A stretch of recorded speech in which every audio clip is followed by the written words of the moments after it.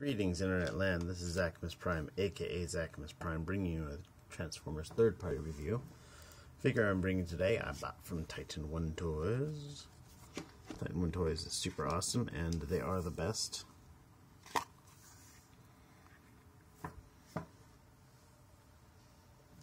And the figures I'm reviewing are the Unique Toys Palm Collection uh, Unhappy and No Minds, I guess I'm not sure exactly which is which. The the uh, nothing on the packaging seems to clarify, but that's what they are. We recognize them as uh, ape face and uh, highbrow. And these these are continuing their little palm collection series of legend size um, headmaster guys, and they are just really cool. They're let me just take a moment bring all of them out. They're shaping up to be like a really, really great little collection. And then,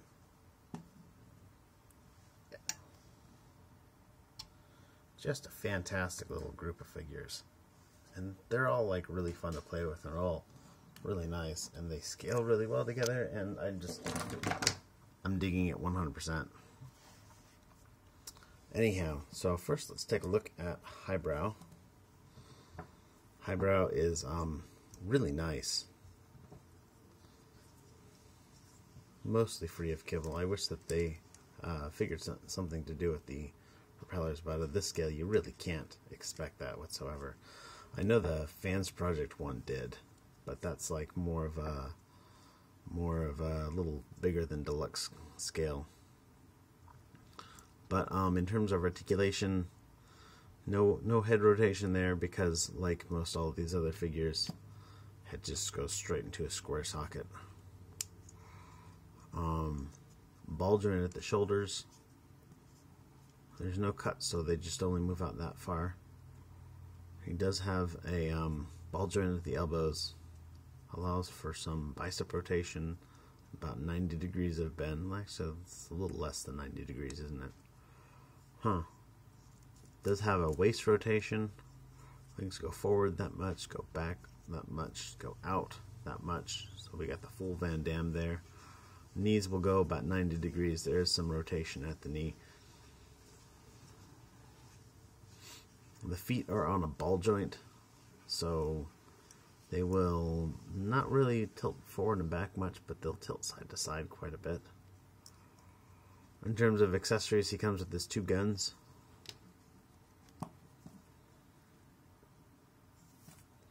They are uh, pretty good representations of his of his G1 guns. Back when I was a kid, I had a I had this figure, and his guns always seemed to end up being held by one of my Technic uh, guys. Back when back when they had a couple Technic sets that had like a little little man much larger than a Lego minifigure, but you know, it was a Technic figure. And uh, yeah, he was always dual wielding these things. Anyhow, to get him transformed up, we're going to take his head off. By the way, his head. See if I can focus on his face. Pretty decent, little, little, you know, delicate little paint apps. You get him transformed, just open him up like that just like every single other one. Again, focus grasshopper. Ah, dropped it.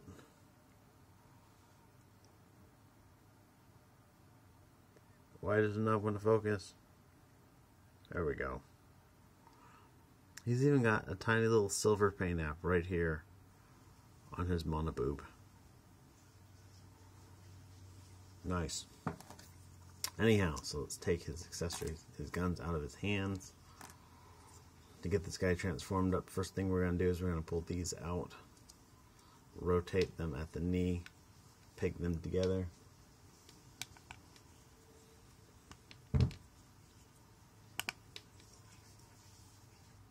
Now we're going to take and unpeg this panel right here, like that.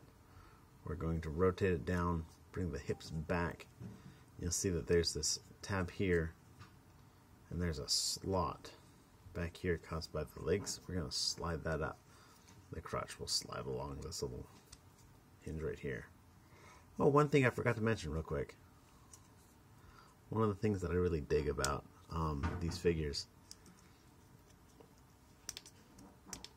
Yeah, this is something that I really liked about the uh, the old G1 headmasters, the little tech specs, and for some unfathomable reason, reason they never did them on the uh, on the uh, the Titans Return ones. I, I don't get it. It would have been such an obvious thing. But I'm sure it would have taken slightly more tooling and slightly more work and etc. etc. etc. Alright, so now what we're going to do is we're going to pull this up and it's going to come all the way around. I think I may have to sneeze. oh, well, thank you, Winnie. This tab is going to come around and it's going to peg right into this point right here. And we're going to open up the cockpit here, pull out the nose, close it back up. Now for the arms, what we're going to do, we're going to straighten this out, right? We're going to slide this because it's on this little slider joint right here. We're going to slide this all the way down. And there's a cut into his bicep. We're going to turn that. And that's going to allow us to peg his, this peg is going to go into his hand. And then this peg right here is going to go into his forearm. And that's going to keep all of that in place. Now for the other side is just like the first side. Slide this down, rotate there, peg that in, peg that in, and bam! We're going to take these, there's little holes under here, peg them into that.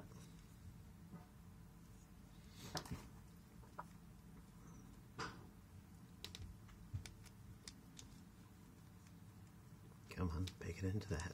Yeah.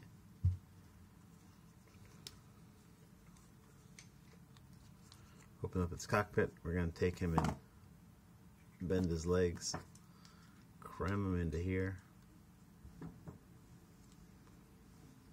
Come on, fit. Close it up.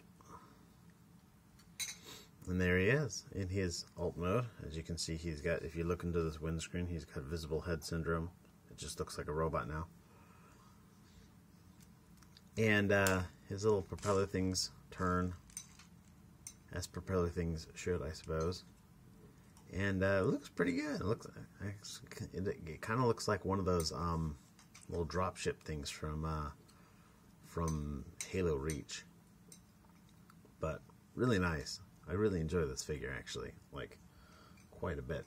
Now let's stick him to the side. and Let's take a look at Ape Face. Now one of the things that I think is cool about Ape Face is that Ape Face was actually a um, a triple changer. And he was a triple changer headmaster. By the way, there's his old tech spec in there. And so I think that's super cool too. One of the reasons I, I kind of liked him, but I never had one. Oh, one of the things that I... So, as I'm getting into articulation on this guy, um, they built this guy slightly different. He's got his, his little head is attached on. Let me see if I can pull it off.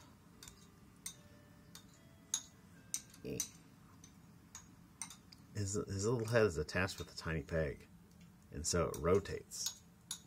And so this guy actually has, honest to God, neck articulation, which is nice. I think that is um, a nice little improvement, and it shows that Unique Toys is, you know, working on things and dedicated to to, to trying to improve things even when they even when they think they've already got a really good formula, which they do have a really good formula for this line, but a little bit of work makes it even better. I love that. Anyhow, in terms of articulation, he's got his neck rotates like this. His shoulders on a ball joint with a big cut on it. He also has like a transformation joint here so you can shrug his shoulders a bit.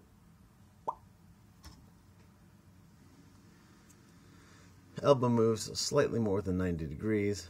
It's on a ball joint, so it pivots at that point as well. He has a waist joint, allowing for free rotation there. Legs will go all the way forward. A little bit loose on this joint, like in certain positions, which is real unfortunate. I'll have to fix that later. Back all the way, forward all the way. Knees on.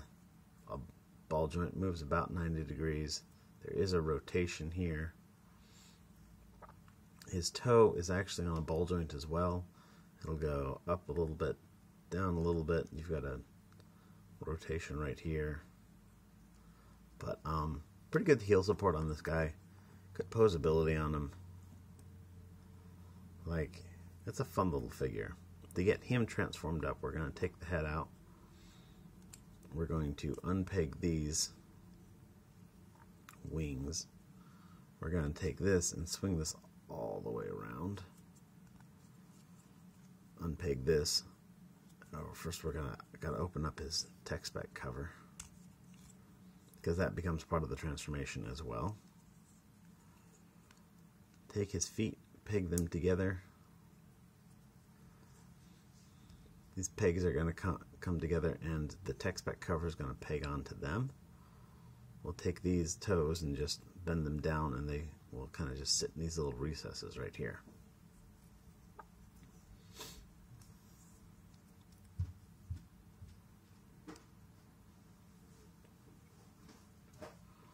We're going to pull up these wings right here. I forgot to mention, these ring these wings are actually removable, and they've got a little peg on them. They can be wielded as swords, so that's fun. We're going to take this arm, move it around, peg his fist into that peg on his leg. And again with the other side, swing that around, swing that around. And then we're just going to take this guy here. We're going to bend him such. Bam, and that's uh that's pretty much it right there. Um this doesn't really peg into anywhere. Oh, wait, yes it does. It pegs in right here.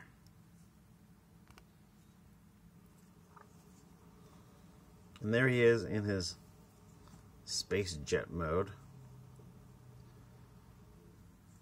And I think it's pretty decent. I think it's pretty decent as far as things go. Um, certainly pretty decent for a figure this size. And um, yeah, it's a, it's a really nice figure. Anyhow, but he's not done yet.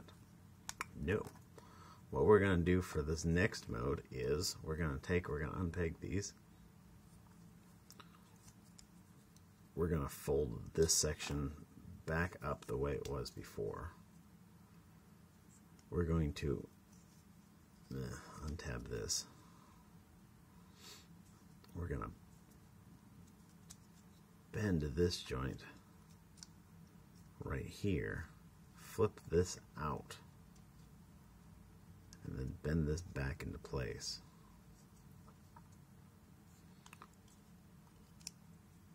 We're going to tap these wings back into here.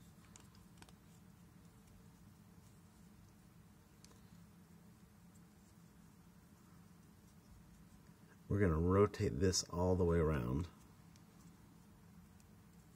And now we're going to take, there's a joint right in here.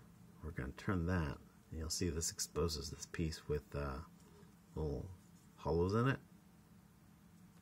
Those hollows are going to fit into those tabs right there. It is a little bit tight, but it holds well.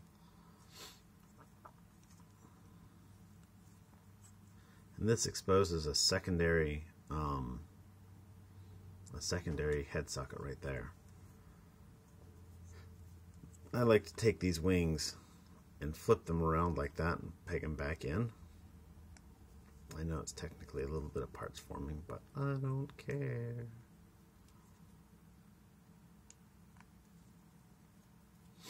And that reveals this bicep swivel right here. We'll extend this out. The foot, by the way, will peg right onto this little peg right here.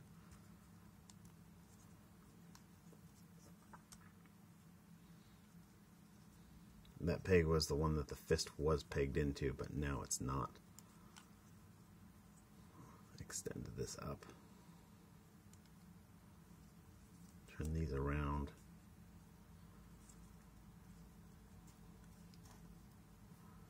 And now when we close them, we can see on the one side we've got his face, and on the other side we've got his gorilla face. So we're going to peg it in so the gorilla face is showing, and then we're just going to pose him up a bit.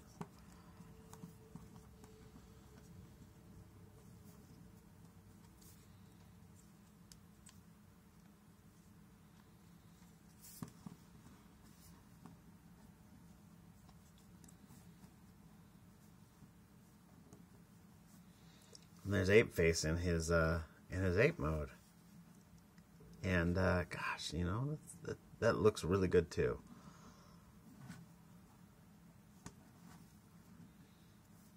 I think it's fantastic. I think that this whole figure is just genius.